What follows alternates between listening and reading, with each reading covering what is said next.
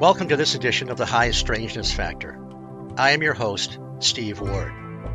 On the High Strangeness Factor, we explore all aspects of the paranormal, with a special emphasis on the underlying, sometimes hidden connections between what seem to be different aspects of the paranormal. My guest on this episode is Missi Lamontagne. Missi and her husband Shane and their two children are a normal family living in New Hampshire that has experienced something truly extraordinary. And uh, Missi, welcome to the show. Hi, how are you? Great. I'm, I'm glad you're here. I, I, have I feel very comfortable in calling you uh, a normal family, even though we haven't met face to face. Right. But uh, you and I have spoken on the phone several times, so I, I will go out on a limb and say that you're a normal family. I have a uh, a friend of mine, John Tinney, who uh, is in the paranormal and has his own uh, website. I think it's uh, weirdlectures.com. He sells the, the best T-shirts, and one of my favorites is it says being uh, being human is weird, which Yes, I. I, I which I enjoy wearing sometimes. well, thank you for having me. I appreciate it. Okay. Uh, so what I- what I want to do is uh, just talk a, just a little bit about you and your family and what what kind of work do you and your husband do? Um, I'm just a manufacturer. I've always done manufacturing, um, waitressing work. My husband's a mechanic. His Okay. specialty is transmission. So just your basic living week to week. And you guys are in the uh, uh, Manchester area, New Hampshire. Yeah, we're about 40 minutes from Boston, Mass. Okay. Uh, are you in a uh, uh, more of a rural area, or are there a lot of houses around where you are? Oh, yeah. Yeah, there's a lot of houses. The town's Okay. grown. It's really you're- grown. And you're you're in a cul-de-sac too. You're at a, d- and does that does that help with the uh, level of traffic, or is it kind of quiet? Yes, because we know who's coming up the road. I mean, you know, when you're living in a little cul-de-sac like this, you know all the neighbors, and we're lucky. It's all my husband's family. He grew up in this house, so you know he's got cousins across the street, next door. It's you know Oh, that's cool. Lane, pretty much. so Um, lucky there. And you also uh, you said you lived to, to these these uh, near power lines. Yes. Are those, are those those giant ones you see? Yes. Big big structures that go down. Did they ever bother you? Did you ever hear the hum or anything like that, or is it Um, just something that's there? I think it's just something that's here. I never really noticed, honestly, a hum. I mean, if I have, I honestly, I've just lived here for so long now. You just get used to it, or you don't really even pay attention to it, honestly. You know, um, we go walking through there, so there's a trail, the line. So, yeah, yeah, you must uh, so if uh, usually if somebody comes cruising down your street they're lost and then they're, they're upset that they did, didn't see the uh, the uh, what is it the no exit sign or the uh, exactly. all It's usually a pizza delivery person that's lost. that's that's pressed for time Yeah, exactly. Yeah. now you also have two sons at home uh, Yeah. Wyatt and Cameron and uh, Yes. they're- they're living at home now okay Yeah. Uh, Wyatt's 17. He's graduating this year. Um, he's going to be joining the service. He's going to be going in the Marines, actually. oh that's excellent yeah, I- I- enlisting. So, I, I spent uh, a few years in the Navy Yeah. and uh, I even got up to New Hampshire occasionally because I was oh, I was uh, stationed. Well, yes, I was stationed in uh, uh, New London, Connecticut, but we had a shipyard period for a little over a year up in Portsmouth, New Hampshire, and of course you have to go into Kittery, Maine, to Yeah. to to Portsmouth. And uh, occasionally, I had my little Honda Civic. We would, uh, me and the guys would. Uh, Get the heck away from the base, and we'd go cruising up in Maine or New Hampshire. And oh uh, yeah. It's a beautiful area. It really is. my wife and I have been to through the White Mountains. She had never seen that before. So. Oh, uh, that's pretty up there. Oh yeah. it's- Especially it's- during the foliage. Oh yeah, I can imagine. Yeah, very pretty. But Al- living although- here, you take that stuff for granted, I guess, you know? Uh, Yes, but do you take the heavy snow for granted as well? No, I, uh, no. we just had another storm, as a matter of fact. So, Yes, yes, and so do we. I think uh, sometimes we uh, here in the Midwest get hit the same time you guys do. yes, usually I think you guys get it a couple days sometimes before. I lived in Iowa for a while. So, Okay.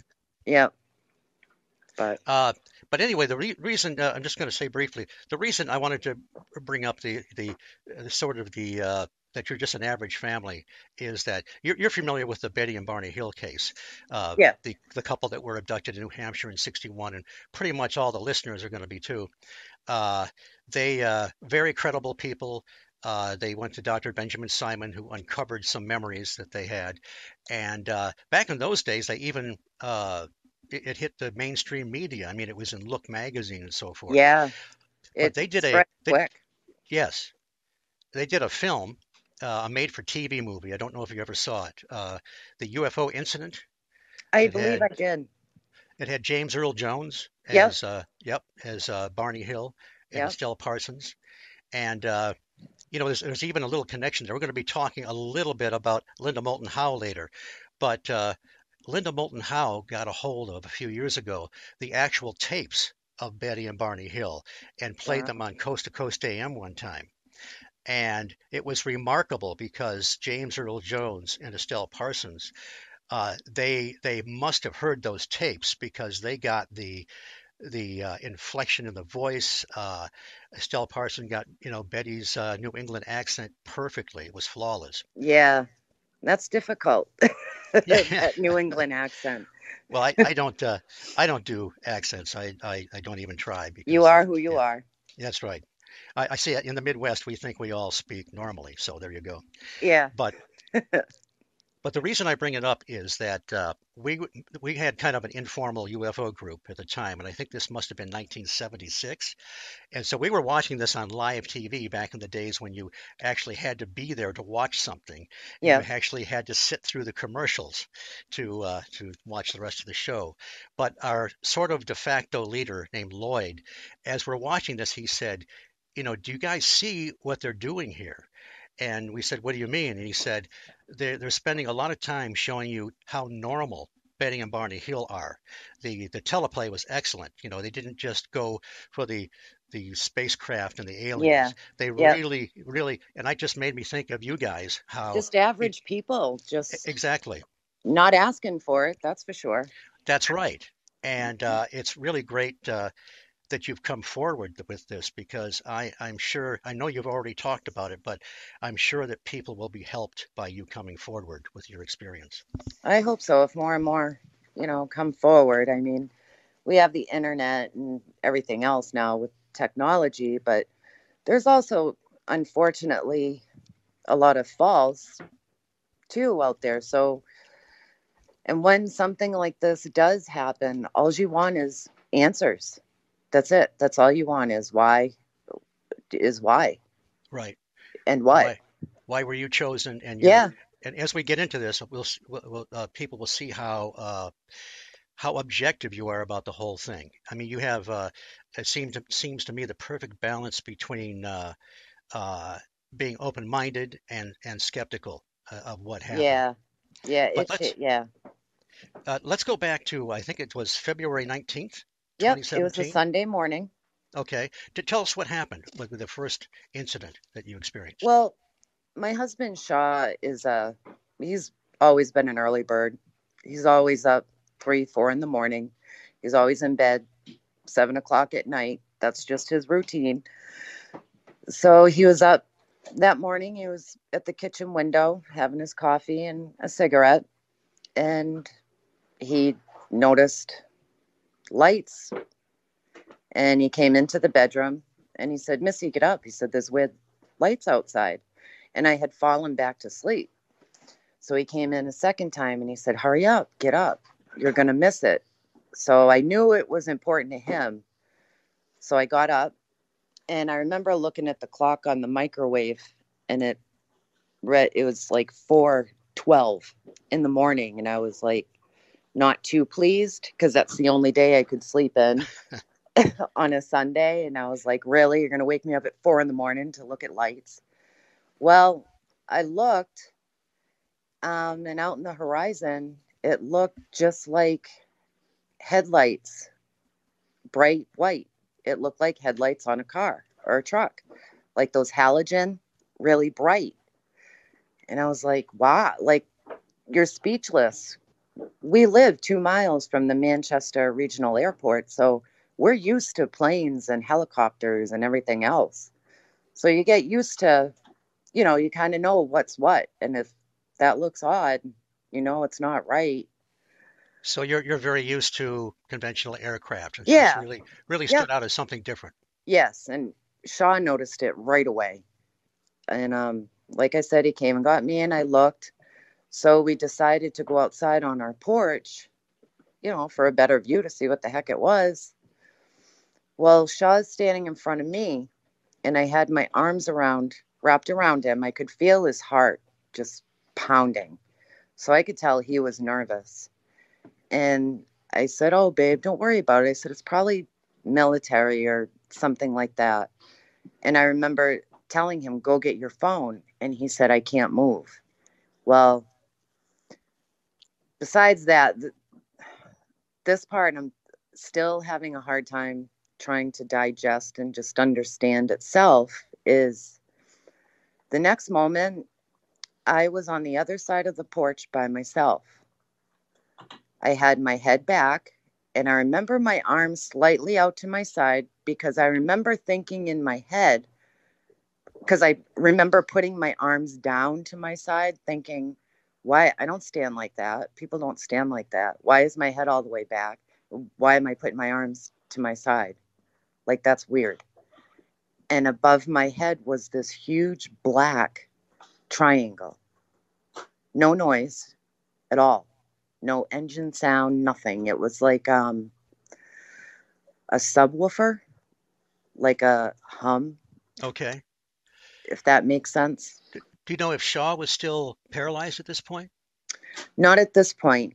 Um it was going overhead to the left, to the right underneath it. I saw two or three tiny, tiny red lights. And that was on the right side underneath it. And on the left side were like grates.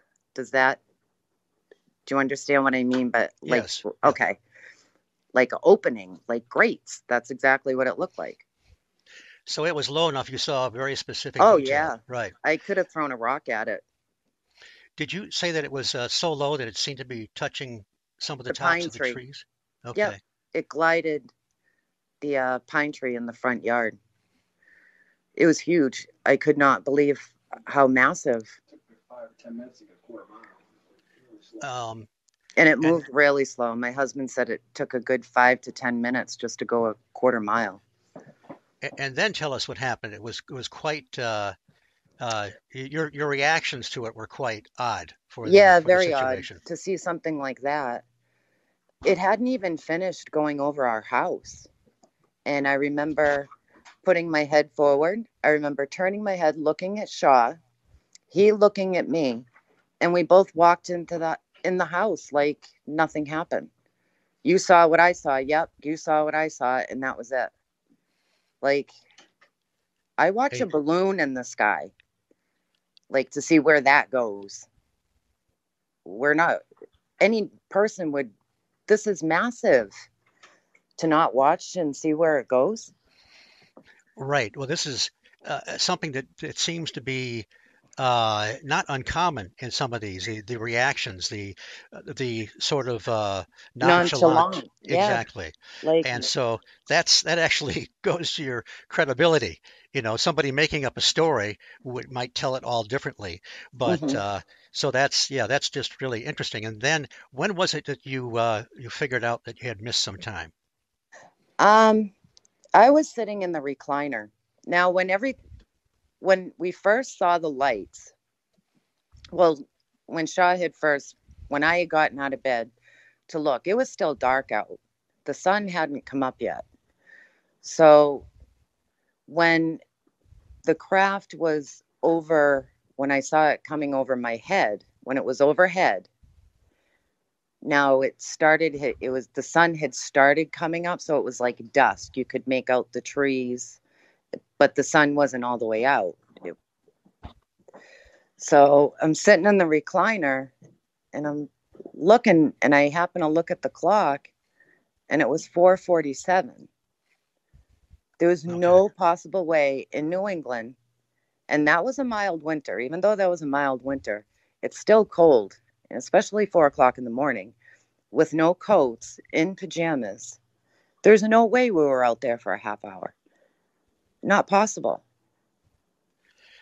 And then what? Uh, uh, tell us. Uh, I know that you. Uh, it, it, this really bugged you. You wanted to know Yeah. what happened, and I think you pursued several uh, attempts to be uh, to find a hypnotherapist that could uh, maybe un, you know possibly unlock some memories that you might have had. Yeah, well, I mean, when something like this happens, I mean, seriously, there's really no emergency numbers for anything like this. Right. And I wasn't going to call the local police, the authorities. Shaw, number one, he's like, no. He's like, no way. He's like, they'll think we're freaking nuts. Don't, no. He's like, just let it be, let it be. So I ended up finding Gray Star Paranormal, and his name is Jonathan. Um, I didn't realize either at the time that paranormal, I always thought paranormal was just like ghosts, um, exorcisms, Right. stuff. You don't really think of UFOs, or I didn't anyway, as with the paranormal. So, anyway, I had found his site and I saw that it said like UFO sightings and stuff like that.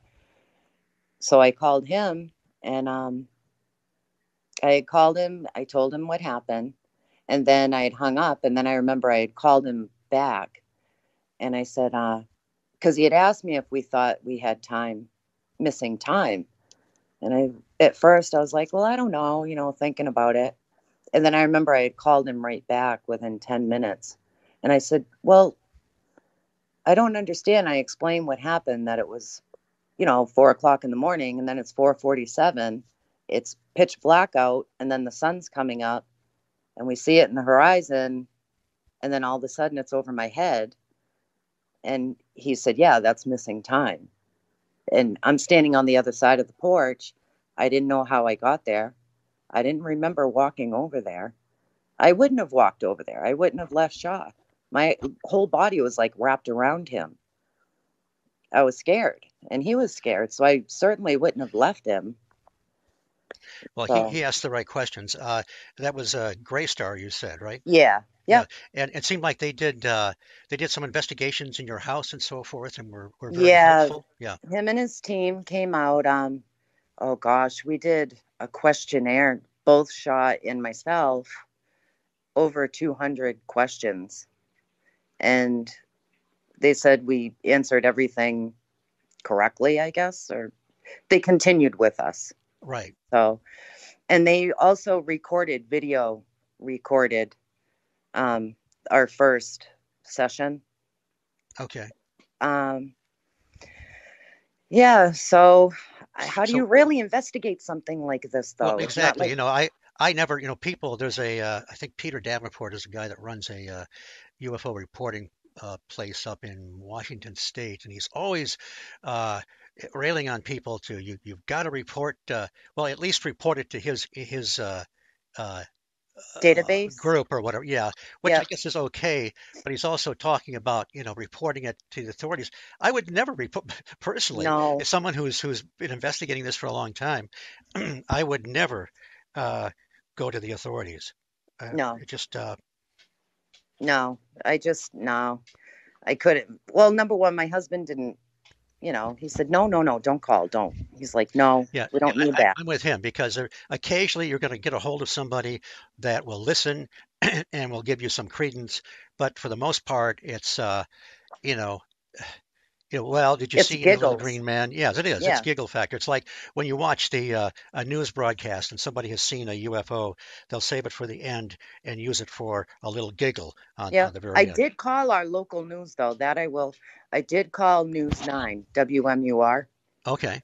just to ask if there were any sightings Oh, that was a good Be- idea. because it went right over the flight pattern. You know Oh. that path. We're two miles, like I said, from the airport, so it was right in the flight path. And I know their radar. I would assume had to pick it up. Uh, sometimes uh, people have seen. I actually talked to an air traffic controller, and uh, excuse me. Just give me a second here. Okay. Had to hit the old cough button.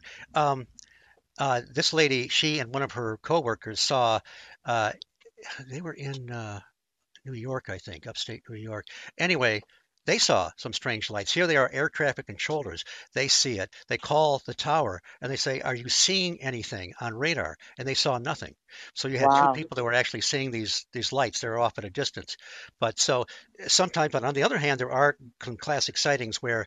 Uh, uh, there is a people is they call them radar visual where somebody they see that the object on the ground and there's also confirmation on radar so there just doesn't seem to be a, a good uh, you, you can't count on any particular trend it's, it's always different i, I just wonder if uh, have you have you ever seen a ufo prior to this No, okay so this was no, the first time I have far as seen um I have seen like I guess ghosts. That's what you want to call them, Oh, spirits okay. or whatever. When being younger, I have, but I didn't realize what it was until after the fact.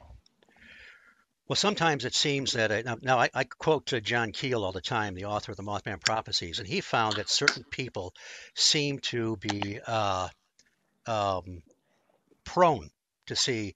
They're, they're, they could, he, he way he put it was Like people more could see open.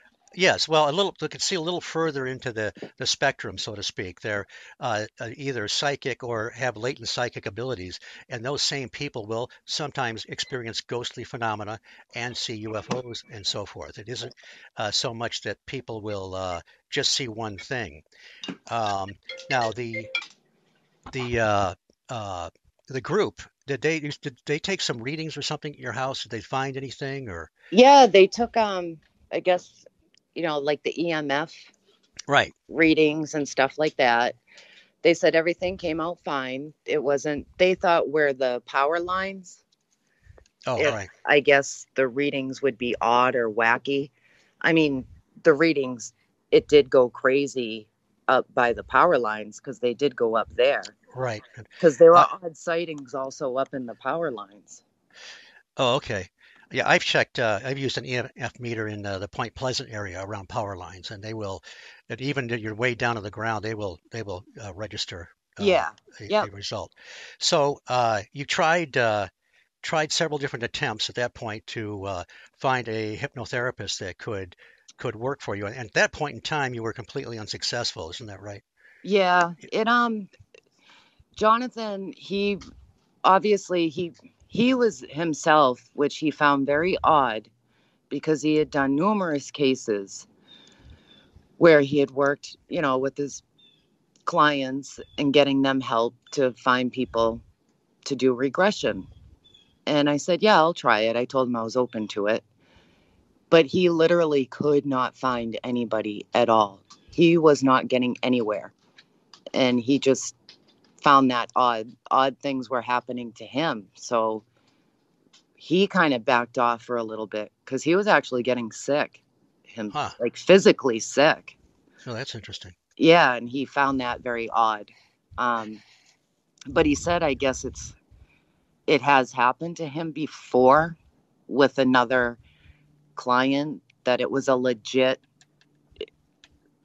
it was a legit Experience. case yeah a legit experience and he said you know the same thing pretty much had happened prior so uh Now the first few times i had gone nothing i couldn't get anywhere i don't know if i was just too tense or nervous Well, that happens. And when, when I first talked to you, I, I thought that might be it because some people really aren't uh, good uh, uh, subjects.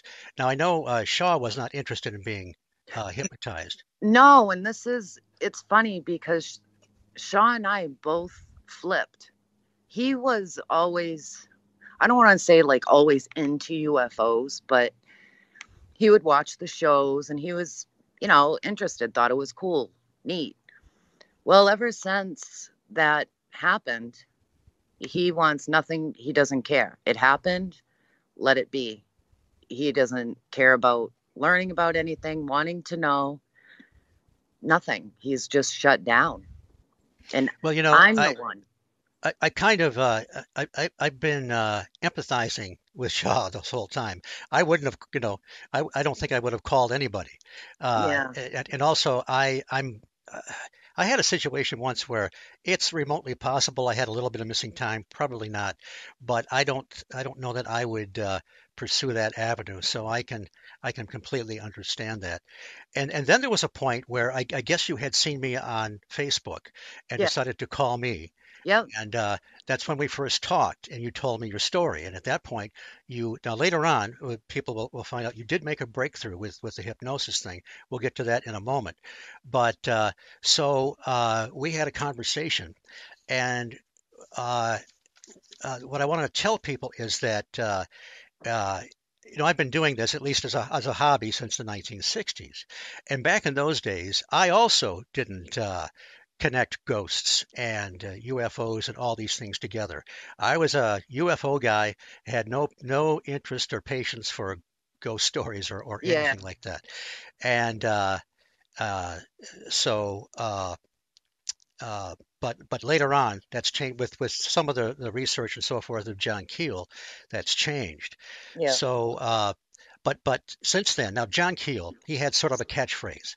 He he called it. He said, "Ask the the experiencer what they had for breakfast." And of course, he wasn't speaking literally. What Yeah. he meant was find out about the individual. So I asked you a series of really weird questions Yeah. that time, and it Yeah. turned out that there were a lot of other things that have happened to you uh, before and Yeah. after the And the Shaw. incident. And, yes, also and Shaw, Shaw, growing and, up. and, and, and you're and oh Shaw, okay, we'll get try and get to that too. By the way, if we we may not be able to get to everything, and I, I would love to have you come back sometime yeah. because uh, your experience is fascinating. But anyway, we still have some plenty of time. Uh, I asked you if uh, because uh, of the research of Rosemary Ellen Guiley, she found that uh, she was studying shadow people one time, people Oh, who yeah. have these these experiences, uh, and she found that a significant percentage of those people were also experiencing uh, abduction phenomena like you did. Wow. And then you, you told me you had a shadow person Yep. experience. It was at um I was working at a manufacturing place and I had gone there early in the morning. It was a Saturday morning. I yeah, I want to say it was an early Saturday morning and I was going to meet my supervisor there to finish some work that we had had, you know, prior that week. So, in those places, it's really bright. It's fluorescent lights and the walls were all white, you know. So it, it's really bright in there. I went in and I'm sitting there at the desk. I was waiting for my boss to get there and still waiting. And then all of a sudden, you know, when you feel like somebody's coming in or, you know, you get that feeling like somebody's there. Well, I looked, I turned, and I saw a person, a shadow on the wall. And it was a man, and he had a coat, a long coat, like a raincoat, and one of those, like a, is it a fedora hat? Yes, fedora, right? Yeah. Well, I was like, oh, well, someone's here. So I saw the shadow go into one of the rooms, and I walked into one of the rooms thinking that he was going to walk out. Well, there's only one way and one way out in this room. Well, he didn't come out. So then I'm like, well, wait a minute. So then your mind starts thinking, like, well, what was that? Because I know I saw a figure, a person, Right. But then again, I didn't hear footsteps or anything. Okay, that's that's classic. They some people call him the Hat Man. People see these shadow people wearing hats and so forth, and I don't, I don't, you know, maybe it's uh, maybe it's just an offshoot of an apparition or, or a ghost. I, I don't know, but very. I was out of there. I called. Yes, well, I, I don't I don't blame you. And this happened uh, before the UFO oh, way incident. before. Way I want to say this happened. I want to say eight or nine years ago. Okay. The, the the time factor isn't that important because uh, uh, certain people just seem to be experiencers. Now, I've had you know very little in the way of experiences. I mean, I could I could tell you my life story of, of paranormal happenings in five minutes if I was speaking slowly. Yeah. Uh, so uh, now also uh, your sons have experienced. Uh, well, you said you said Shaw has uh, ex, ex, orbs. Oh, that's right. Let's talk about the orbs. They they well, Shaw's right? actually experienced the same thing when he was young. He was about eight or Ah. nine years old. And his cousin Dana was living here at the house with them. And I think Dana was like 12, and Shaw's sister Marcia, she was like 12 or 13. In the backyard, they saw a, a huge white orb. And it was just hovering there in the backyard. He said it was humongous. And all three of them saw it. And I think it was that Marcia ran to go get mom. And by the time the parents came into the bedroom, he said it just pinged, just took off towards the power lines. And they saw it go out towards the power lines and then ping, ping up to the sky. Wow. So uh, you, you said Shaw has been in this house his whole life. Yep. Yeah. Okay. He was born here. So the, the, the you might say the house or the area itself has uh, been a yes odd or a I don't know a, an attractor of paranormal phenomena or maybe it's always been there even before the house was built. Right. Hard to say. Yeah. Uh, now both your sons have experienced orb phenomena. Oh, yeah. Uh, yes. Yep. Cameron was um I want to say he was around two, two and a half, maybe a little older. He was sleeping with Shaw and I. He never wanted to sleep by himself. He just recently actually started sleeping alone and he's going to be 12. He was always afraid, always. Um, he had woken up, he was in between us, and he had told us that he was looking out the window on the right hand side that's in between the house and our garage. There's like a walkway, a path there. And he said that it was a orange, orangey red ball of light. And he said it was kind of playing with him, like peekaboo.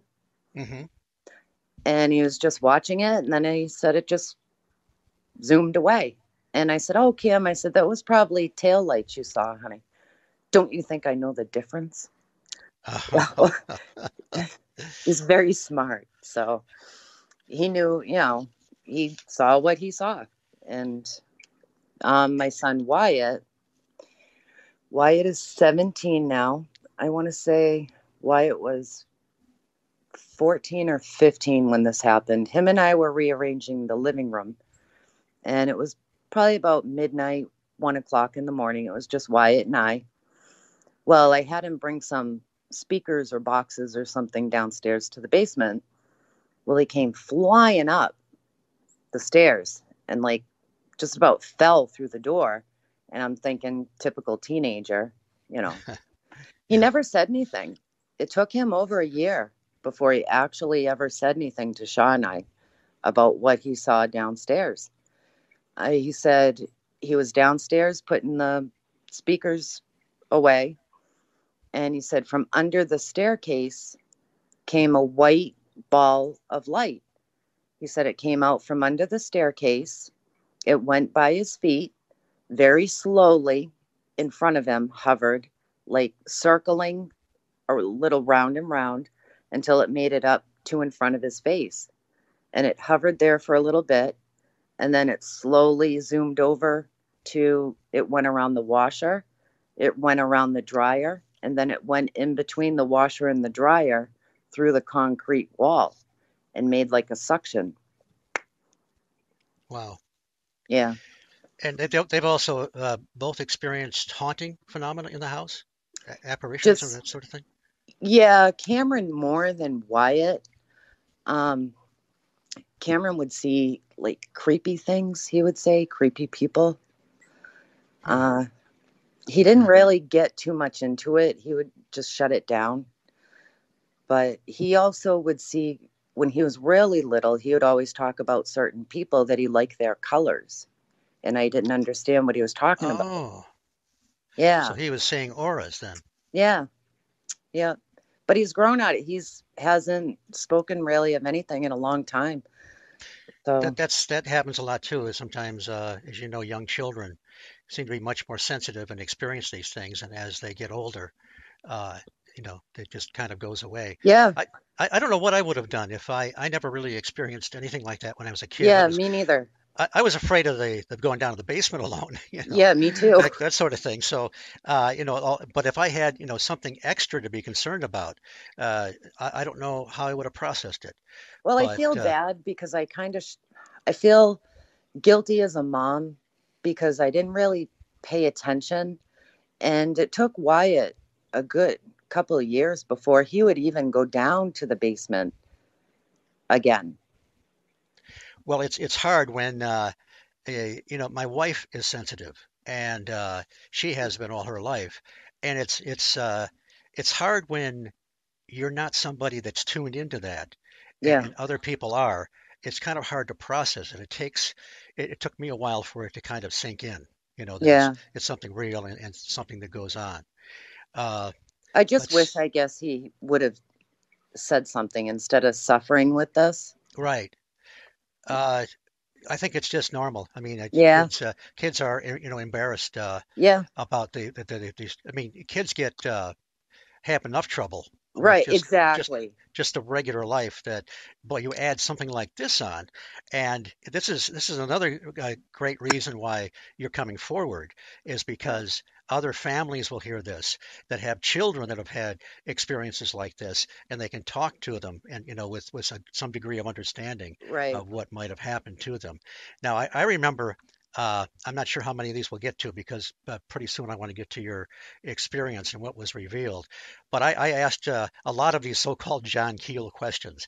And one of them, I, I said, I remember saying to you that I know this is going to sound weird, but sometimes people that have these UFO experiences have also seen some kind of a cryptid, like a Bigfoot or whatever. And you said, well, no, you hadn't. But then you thought of somebody in your family that had seen something Yep. strange. Actually, and- it was um my mother-in-law. She lives in Arizona now, and Shaw's sister Marcia, and her cousin, her name is Missy also. Well, Shaw's mom saw it. It was a black panther, half panther, half man. I guess the lower part was like a man. so it was literally standing upright when they saw it. Yeah, it was um leaning against a tree, and there's how- a path. How close was this to your house? Uh, very close. I'm actually looking at the path right now. Oh, I'm okay. So it's standing right in front of the kitchen window that I. So, so all these things are really happening in the same proximity. Yep, yep. And then, so what? What happened? How did they react? Um, I don't know if she. Well, I don't know how she really reacted then. Honestly, it was. I mean, so many years ago. But she never said anything. I don't think to the kids. Obviously, they were young. But Marcia, Shaw's sister, and her cousin Missy saw it years later. the same Oh, thing. It wasn't like they all saw it together. It was years later. did they Marcia see and it? Missy uh, saw it. Did they see it in different areas, or was it in the in the same general area? It was in the same general area. I don't know if it was like the same tree, but it was the same path. And they, I went flying. They saw the panther, half man. It was a black panther, half man leaning against the tree. And they just freaking flew, I guess, running. Now, Yeah. it didn't I would too. sound like a dumb question, but did what did it have clothes on, or was it just like a creature with the, the fur and so forth? I think they said it was just like a creature. They Okay. didn't notice clothes or anything. They just couldn't believe what they were seeing. Well, well, that's interesting because I haven't actually heard a report like that, but there are many of what they call these uh, black cat sightings, these giant black cats that, and there aren't supposed to be any panthers or black panthers, you know, No. anywhere in the U.S. No. And but uh, most of those are on all fours, although they're very credible sightings. And then we have, uh, well, especially here in Michigan, we have what they call the Michigan Dog Man, and many many credible people. In fact, a lady, a researcher I know named Linda Godfrey, has uh, wrote her first book called The Beast of Bray Road, where she started documenting these upright canids and uh, uh, very, very credible reports. Uh, some of them have been seen in uh, just a matter of miles from where I live. Now, of course, I've never seen anything like that, but it sounds kind of a, a similar uh, similar category. Yeah. but but you know, every once in a while, uh, you know, you'll get your your basic Bigfoot reports. You'll get uh, uh, you know, people report the the Jersey Devil and so forth. Every once in a while, you'll get something that seems to be a little bit of an aberration, like the the upright panther. Now, there may be more in the literature that I don't don't know about, but Yeah. that's that's really interesting that several different people saw this over a period of time.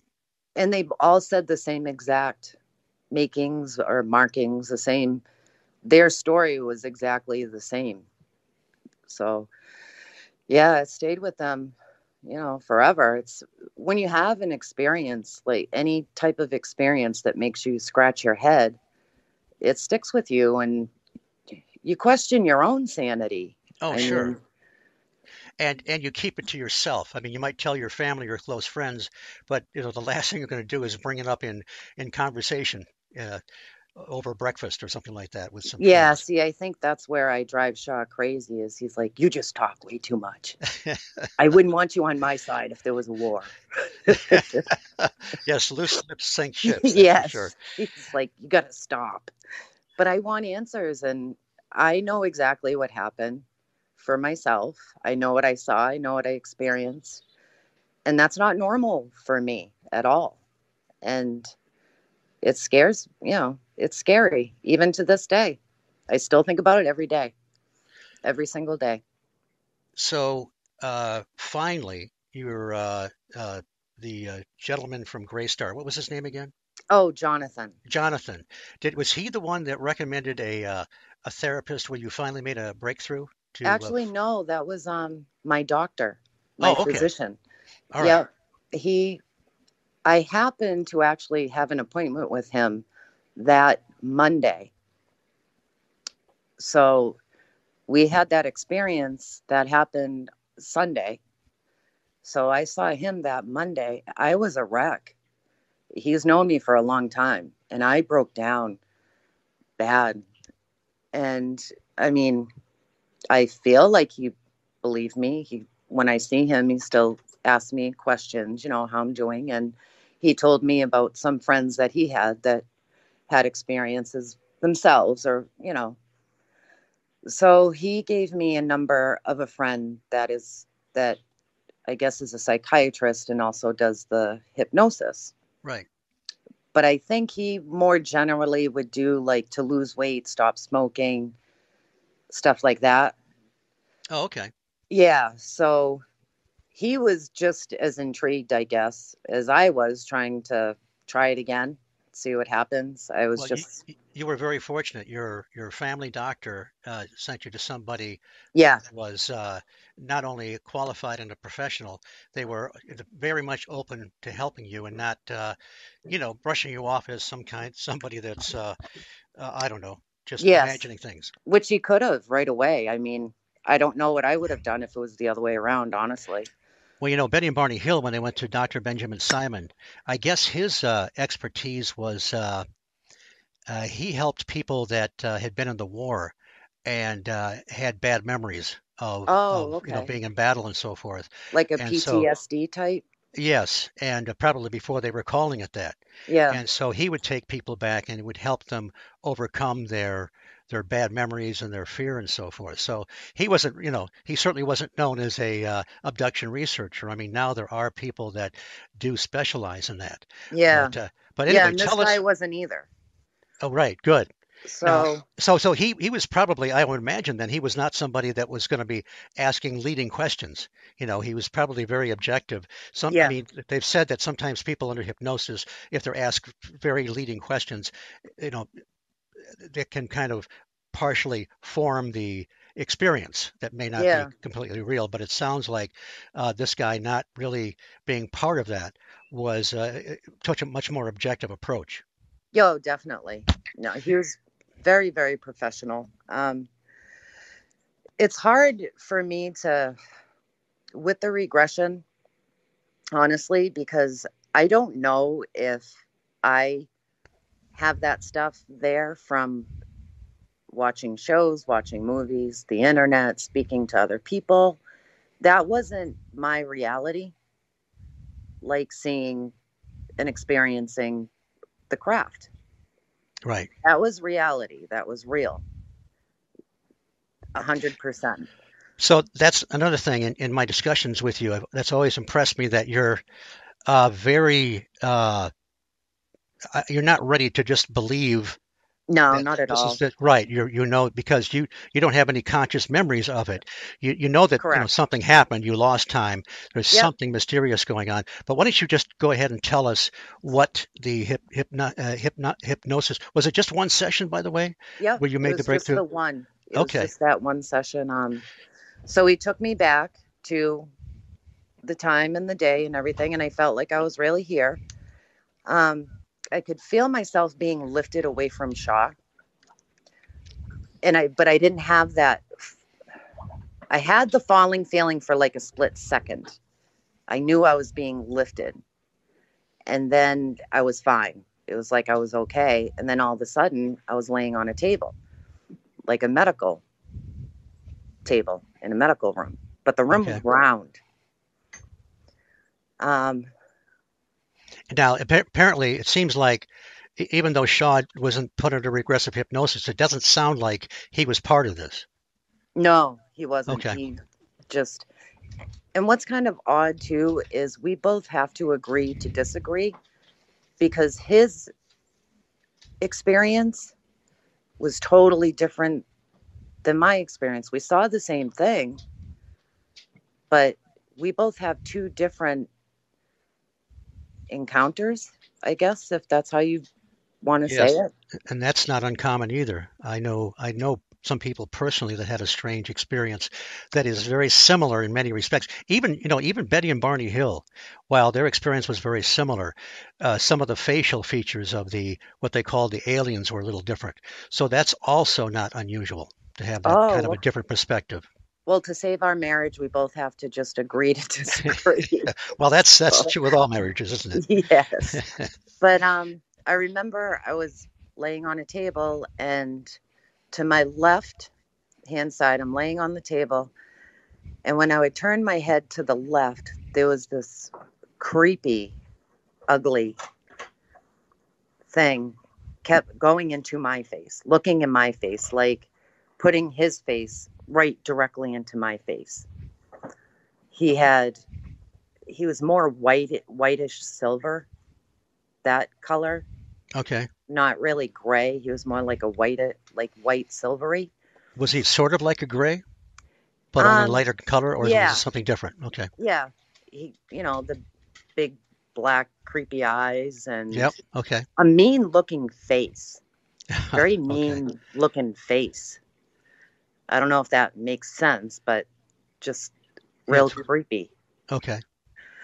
um he i want to say he was maybe a little under five feet tall about Okay. that um but he kept putting his face into my face and that literally just scared the crap out of me Now, there were some other, I don't know, for lack of a better word, entities or beings in the same room there. Yep. Um, to my right was she felt very motherly. She was beautiful, absolutely gorgeous. She was very tall, blonde hair, um, just beautiful. What I would think is absolutely stunning and beautiful. That's exactly what she looked like to me, and that's how she sounded. She had the sweetest voice, even though she didn't look at me and like talk to me, like move her lips. She was like in my mind talking to me, but she had like a very sweet, pure voice.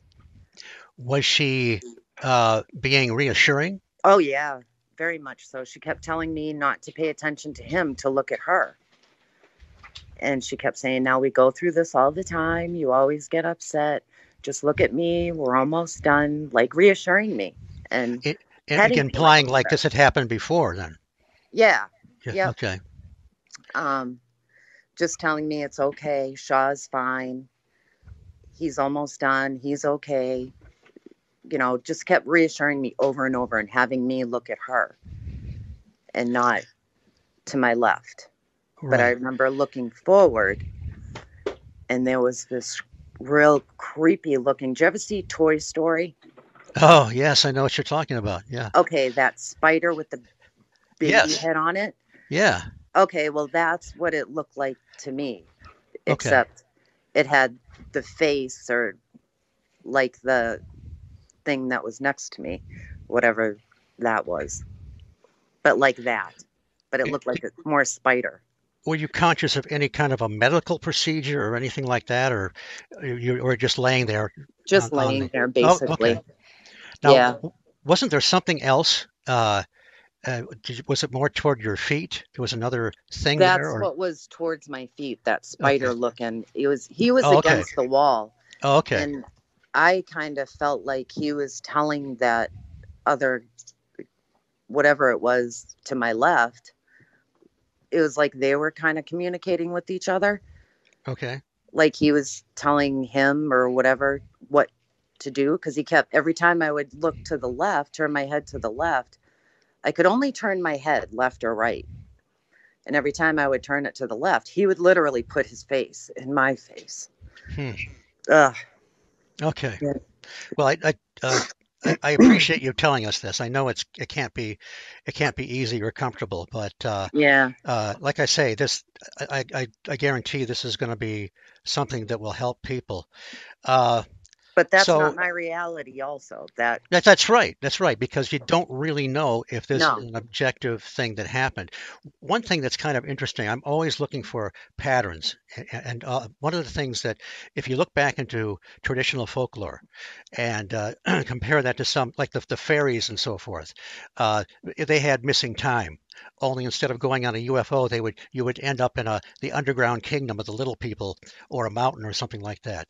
yeah. Uh, but there's there's a lot of similarities between uh, beliefs and, and stories and folklore to some modern day UFO experiences.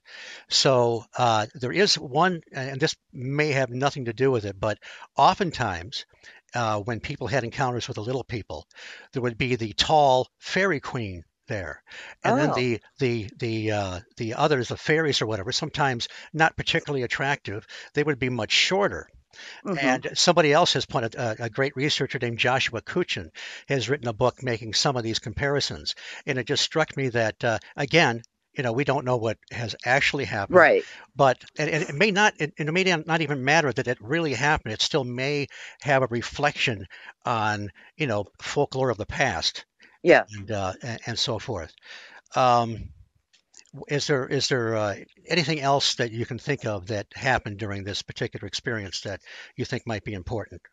Um, no, not too much. Just we were both kind of speechless. I don't want to say the doctor's name because I didn't, you know, speak with him or get permission. But um, Right. No, that's all right. I'm sure that uh, it's very possible he wants to uh, remain anonymous anyway in his Yeah. practice because just because of the way that uh, people look on things like this and Yeah. and and and thank you know uh, I'm I'm just so happy that uh, you had you found somebody of that caliber that was able to help you. so was I. But I don't know if I'll ever do it again. Honestly. No, I I I, I don't know that uh, you really need to pursue it. You Yeah.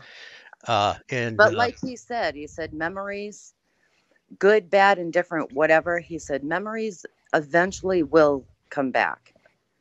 okay. it- may take years, could take a year, could take 20 years. He says, but memories most oftentimes will, they do come back. But that day, what was very odd, if I could tell you really quickly, oh was sure.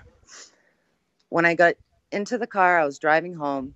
I was going to call Jonathan from Graystar. Now, him and I had not spoken, I want to say at least a good four, six months, maybe longer.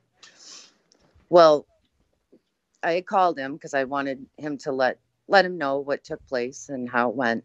Well, he was about to call me, which was we're flabbergasted with that. That's that's like, a synchronicity right there. But yeah, yeah, Uh, tell us tell us what he's actually didn't he stop you first? You, you were about to tell him you made a breakthrough, and, and what did he tell you? he said, "Hold, hold up, hold up." He says, "I just have to tell you something really quick." He says, "Before you say anything," he says, "I was," a, he says, "I had phone in hand." He says, "I was about to call you." He had a dream the night, I guess that night prior, that whatever took us, he said it was the Grays. They had allowed him to come into our room, our bedroom, and showed him what had been taking place and going on, I guess. With essentially saying that you that yes they were uh, I don't know examining you or or, or Yeah. so forth, Yep. and uh, was it did he get the feeling like uh, you know like don't worry uh, this is what we're doing and uh, it's nothing to It's worry about or Protocol. protocol? Regular. Yep. Procedure. It is what it is. It's been I- happening for generations. And I think you also, I mean, I don't know that if he was prone to have these, uh, it was like an out of body experience because Yes. he described things Yep. in your room that were, yeah, that were, it demonstrated that he knew. Well, It- he knew where everything was. He knew which side of the bed I slept on, which, you know, 50 50, anybody could probably really get that if they wanted to guess or whatever. But what really creeped me out was he even said to a T perfectly the pajamas that I was wearing. Wow. And they were the pajamas that Shaw had actually gotten me for Christmas that Christmas. He Well, here, described them perfectly. this is a, a, a, uh just a, an amazing corroboration. yes. I mean, this, this helps you to know that regardless, we don't really know exactly what's going on or what it all means, but we know that something. nobody's crazy here. There's something uh, substantive going on here. But if you weren't crazy before, you could probably be crazy after. Maybe maybe you'll have to get one of those T-shirts I talked about. I I would like one. I would wear it proudly. But Well- it does change a person. It truly, truly, it really does. Yes, but what's I don't always know if we'll ever get answers, honestly. but what's always impressed me about you is how how uh, clear and lucid and forthcoming you are, and thoughtful about your experience. And oh, uh, thank you. and I really I, I'm so happy that you uh, contacted me. I feel like we're friends, and I would uh, I do too. love to meet you guys in person sometime. So that would be That great. would be great. I would. Re- I would enjoy that myself. Like, I don't know. Just when somebody goes through this, you just really want answers, and we may. I don't know if the government will ever come out, but when I did speak with Linda, which I was surprised, she called me um over the summer, which was actually accidentally that she called me, which is kind of funny because right. she called and she asked for a Bob. She was trying to get a hold of a man named Bob. Huh. Yeah. And I said, Oh, Linda, I said, you know, my name is Missi Lamontagne. I emailed you, you emailed me, blah, blah, blah. And she said, Well, I really, really need to speak with Bob. I promise I will call you back. But I didn't think she was going to. And lo and behold, she did. And um, I told her my story, what happened. And she said, as far as she knows, there's nothing in our government that would have that technology or reason why it uh, takes somebody like Sean I have that happen I. I, I agree. I mean, there, there's some rumors about these giant black triangles, and maybe they do have some, but the the rest of the experience just doesn't make any sense at yeah, all. that's what exactly she said. So Well, Yeah. well, Missi, we, we- we're coming close to the end of our time, and Okay. uh, I, I want to thank uh, you, Missi Lamontagne, for a great hour and for uh, sharing your experience with us. Oh, And, anytime, uh, Steve. and, and I hope to, to see you again soon, like I say. And uh, I also need to thank our fearless leaders at Paranormal UK Radio Irene Allen Block, Mark Johnson, I also need to uh, uh, thank my phenomenal producer, Andy Mercer, who's also my part time co host. The music was by Brian Zeller, and I am Steve Ward, your humble host here on the High Strangeness Factor, a displaced Yank here on Paranormal UK Radio. Thanks for listening. I will see you all again in a fortnight. Take care.